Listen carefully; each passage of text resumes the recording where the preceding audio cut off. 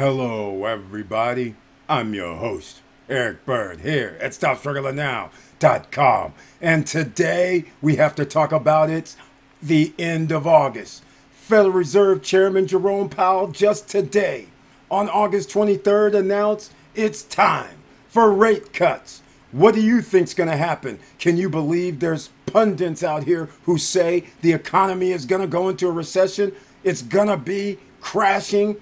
Can you believe others, like myself, who believe that will give an uplift to the economy because of credit and borrowing and increasing the deficit at the same time because you're going to add money to the money supply, which now means prices go up and at the same time, stocks go up.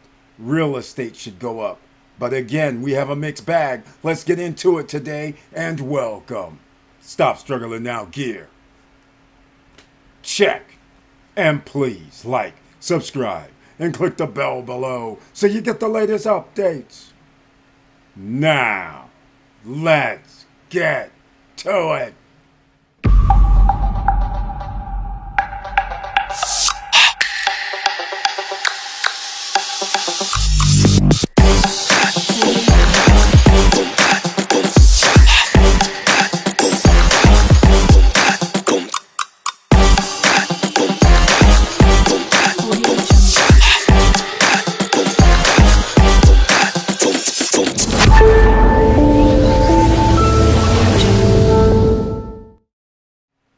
All right, welcome back, ladies and gentlemen, and thank you so much once again for being here. Please share the videos because you never know who's out here looking for information, who might find the information, and they're like, hmm, I'm curious.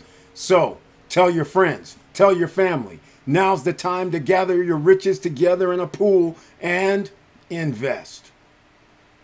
Now, without further ado, let's go over to the Stop Struggling Now YouTube podcast channel page. And the reason I go here is the show, courtesy of YouTube members of the channel. Over here on the right hand side, they always show a few. And I always point out the join button. Why? Because members of the channel, they receive one or two videos specifically for them once a month, twice a month.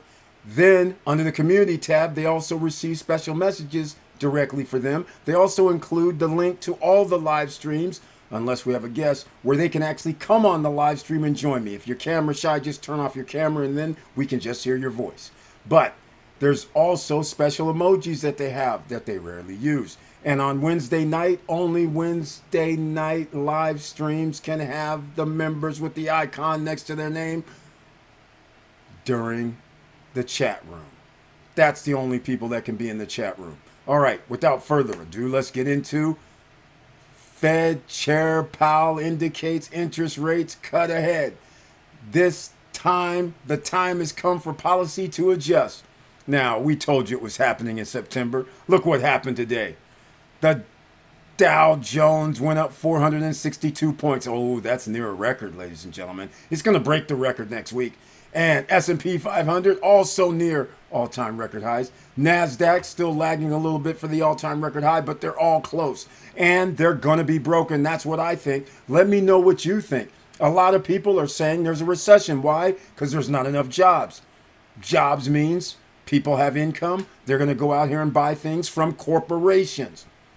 Then people are saying other reasons that's happened is there are some leading indicators that suggests that there's going to be a recession. What are one of those? Well, take the last quarter's inflation rate and see what the difference is between the inflation rate from last year to this year. And as if there's a difference of 0.5% or higher, that's a leading indicator but that's not 100% all the time.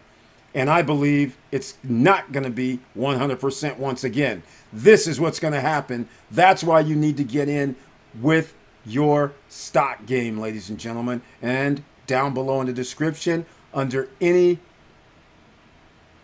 video that you see, you will see Robinhood Webull apps that you can download your brokerage account so you not only get free stocks, but you also are able to share with others, and then you can buy these shares. Now, let's get into Fed Chair Powell indicates. Listen to this. Fed Chair Jerome Powell laid the groundwork Friday for interest rate cuts ahead. Though he declined to provide exact indications on timing or extent, it's happening next month. The time has come for policy to adjust, the central bank leader said in his much awaited keynote address at the Fed's annual retreat in Jackson Hole, Wyoming, so they can collude with the rest of the world. They just want to let people know, get our all our stories together. That's all they're doing. Don't let them fool you like this. All right? Now, I'm not going to get into this. Inflation has declined significantly. Yes, this is true. That's what they say there. That's the whole reason. The labor market is no longer overheated. That's true as well. And conditions are now less tight than those that prevailed before the pandemic, Powell said. Supply restraints have normalized, and the balance of risk to our two mandates has changed. Now, I just want to point out something that's very, very interesting. I've been saying for the last two months, three months, four months, I've been telling you they had no intention of going down to 2% inflation rate year over year.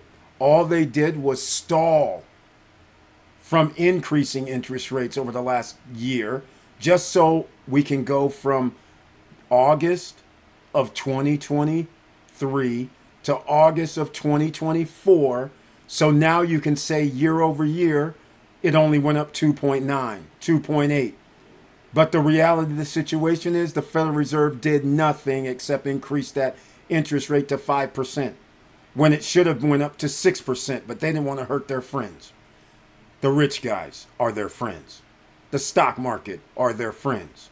That's why you have to be in the stock market, ladies and gentlemen, to be their friends. As long as you don't have extra income to put into the stock market or buy stocks, you can buy 10, 20, 30 dollars worth of stock every paycheck. It does not matter, but you need to be in the game. You want some dividend stocks? Okay, JEPI, JEPQ. Join me on live streams. Join us in the SSN Nation on live streams. We have a lot more to talk about. That gets you around 9.5 to 10.5% right now. Dividends that you're going to receive because you invested in a JP Morgan ETF. Now, without further ado, I'm getting right back to it. Okay, because this annoys me to no end. You guys have no idea that they're actually manipulating to markets to help certain people the top 10% of the wealthiest in the world own 89% of the stock market, the United States stock market. All right, that gives you an idea what the wealth inequality is about. The only way you're going to be able to get your piece of the pie now is not just your hard work. You're going to have to make money while you're sleeping, and stocks do that for you. So just want to let you know sees progress toward goals. Here we go. Remember those goals? The speech comes with the inflation rate consistently drifting back to the Fed's 2% target, though still not there yet. Exactly. Okay. A gauge of the Fed prefers to measure inflation. Inflation most recently showed the rate at 2.5%. It's 2.9, but all right. Down from 3.2% a year ago and well off of its peak above 7% in June 2022. I don't know what metrics they're using, but actually it was 9% in 2022. It was 2.9% last month. So I don't know if it dropped to 0.4% or they're fudging the numbers, but the bottom line is they didn't get to 2%, which should annoy a lot of you because they should have raised the interest rate even higher last year long before doing the interest rate cut, which now means we're about to heat up the economy again. So, welcome, ladies and gentlemen, to the bull run that should ensue. If you don't think there's going to be a bull run, please let me know down below. And with all that said, thank you for watching. Thank you for listening. And please like, subscribe, and click the bell below so you get the latest updates. And I know it's hard out here. And that's why going forward, you're going to have to make extra money while you're sleeping. You can't save your way into this one. You have to make extra money, whether that's real estate, whether that's stocks, whether that's buying into another business. But you got to find those places, have to find those places that give you money that you give out gives you a return. Those are the type of places. That's what we call assets here in the SSN Nation. We don't call an asset a simple thing like a home. A home means you live there. That's expenses. You have to go to work to pay for it. That is a liability. Cars. If you have to go to work and pay for it, that's a liability.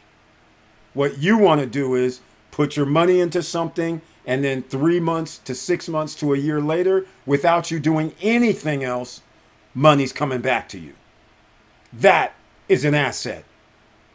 And with all that said, keep your head up, keep moving, and I'm out.